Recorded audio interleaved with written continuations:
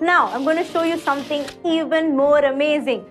How many lines can you see here? One, Actually, there are two. And they're stuck to each other at this point. Now, this line is free to go wherever he wants. And this line is the lazy guy line.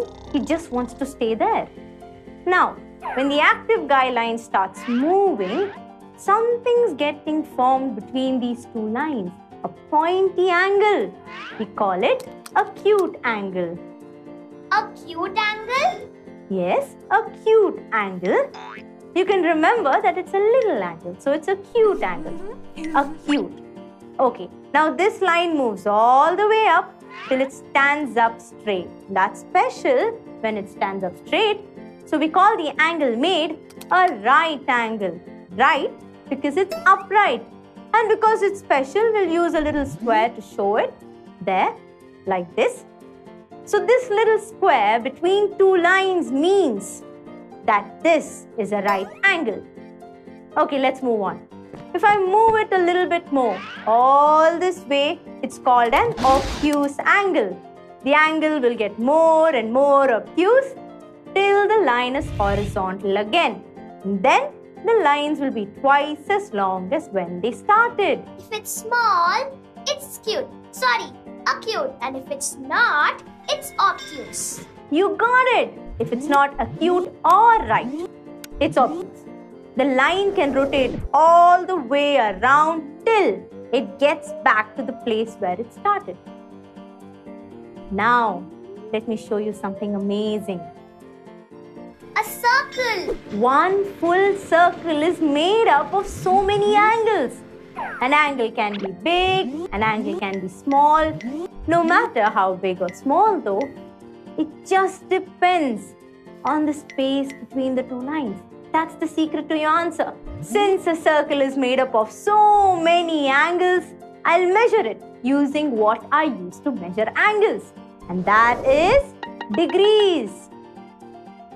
Okay, so how many degrees are there in a circle? Now that's what I call a brilliant question. The answer is 360. It's not a number that I have given.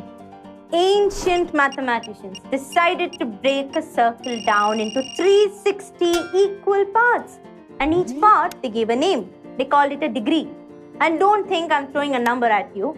I'm going to explain, at least try to explain, the best reason why it is 360 and not 10, 100, 1000 or any other number. So, first, I'll ask you to take a minute and think about where you have heard the number 360 before. Shall I give you a clue? It has something to do with birthdays. How often do you have your birthday? One every 365 days. So, the earth makes one full circle around the sun in 365 days. That's why have a new year every 365 days. Yes, the number of days in a year we know now is calculated as 365. Okay, let's ask a deeper question. Since the earth completes one full circle every 365 days, can every day count as a small addition to completing the full circle? Yes, it can.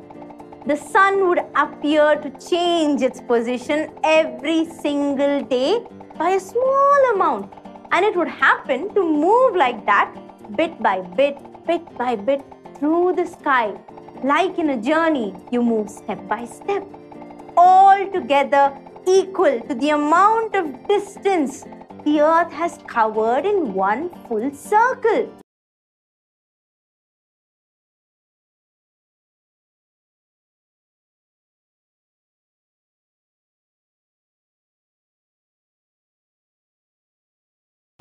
And just say you are this scientist living a few millennia ago. You didn't have modern fancy instruments to accurately record the positions of objects in the sky. You just might conclude then with a small error that the sun moves, say, about one out of 360 of the way along the circle every day, which is exactly what ancient astronomers did. And then they made this leap of thought and decided to divide the circle on the sky and all circles they saw around them into 360 equal parts so that the sun would move through one part every day. Each part was dubbed one degree, giving us the idea that a circle contains 360 degrees.